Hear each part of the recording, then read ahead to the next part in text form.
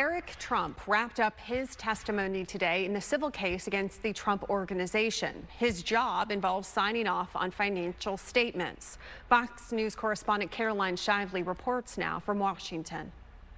Eric Trump finished his testimony Friday in the fraud trial against his father's real estate empire in New York. What the state is trying to do to my father is absolutely insane. And they dragged Don and I into it as collateral damage. Eric was asked about the steps he took to verify information before signing lender documents regarding his father's financial statements.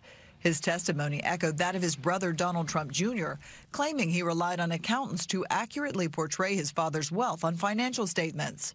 Authorities say those documents fraudulently exaggerated value of the former president's assets in order to deceive banks and insurers. I know the truth will come out in the end. They're trying to disqualify my father for 2024. On Friday, the judge issued a limited gag order prohibiting all counsel from making public statements referring to communications between him and his staff. The judge called multiple recent comments from defense attorneys about the principal law clerk inappropriate and said the need to protect his staff from threats and harm outweighs the lawyer's First Amendment rights. Anything on this exchange regarding the clerk that you can say?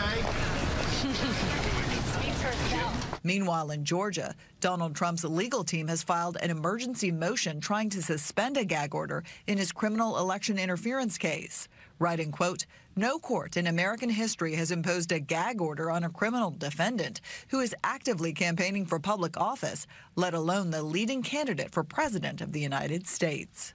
Former President Trump and his daughter Ivanka are both expected to testify in the New York civil fraud trial next week.